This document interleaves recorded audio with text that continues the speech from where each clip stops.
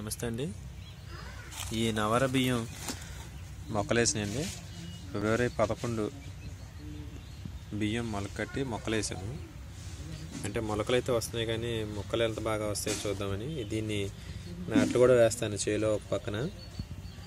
ఇది కూడా పంట పండింది అనుకోండి చూద్దాం ఎలా పండుతుంది ఏంటో. మొక్క రాగానే సరిపోదు కదా పంట కూడా పండాలి కదా. ప్రయోగం చేసి చూస్తాను. ఇప్పుడు తొమ్మిది రోజులు మొక్కలండి ఇంకొక ఐదారు రోజులు అయిన తర్వాత మొక్కలు తీసుకెళ్ళి కొంచెం మొక్కలు ఆగితే వచ్చేలాగా తీసుకెళ్ళి చేలో నాటుతాను.